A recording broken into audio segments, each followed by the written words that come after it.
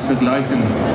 Und äh, dies sollte meine Antwort gewesen sein auf, äh, auf alle Leute, die gemeint haben, die, die, letzte sech, die, die letzte sechs Jahre war keine in Klagenfurt. Aber ich freue mich. Haben es auf deutschem Boden den Deutschen gezeigt, so wollten Sie es ja auch machen. Ist das jetzt so ein Rennen, von dem Sie sagen, das hätte nicht viel besser laufen können, ich habe alles richtig gemacht oder gab es so Momente, wo Sie auch an sich gezweifelt haben? Ja, da gab viele Zweifel heute. Äh, das Schwimmen war, ich war der Letzte im äh, Front Group und äh, es war zu schnell.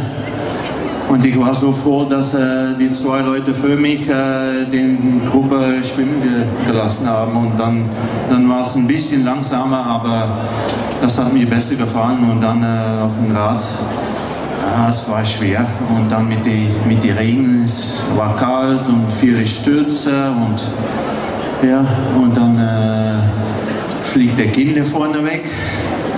Musste man versuchen, die wieder zu holen. Und, ja, und dann äh, bleibt, er, bleibt er 20 Minuten äh, Pressure machen in dem Marathon. So, das, das war auch nicht schön von ihm.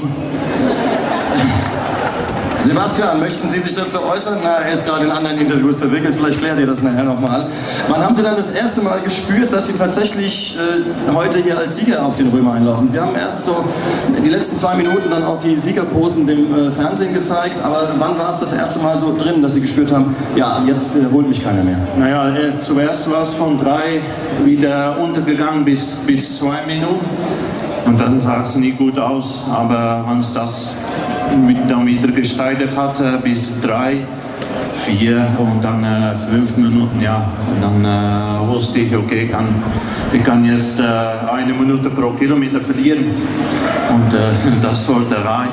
Und, wir, können uns, wir können uns den Zielerlauf gerade nochmal anschauen. Ja, so sieht das aus, wenn Marino van Hohenhacker in Frankfurt auf den Römer läuft und genießt, dass er im Jahre 2012 Europameister geworden ist. Sieht gut aus, oder? Sieht nicht schlecht aus, nein. Schöne Schuhe. Vielleicht zu diesen Schuhen noch ganz kurz ein Wort. Das ist ja eine Sonderanfertigung für Sie. Ähm, ist das tatsächlich etwas, was Sie dann im Rennen nochmal wirklich spüren?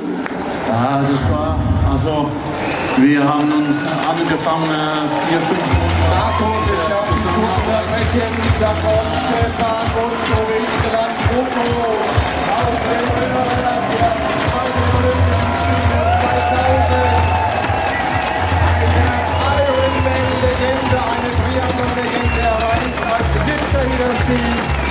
Gratulation an Marino van Hohlacker und Ehre mit Ehre gebührt.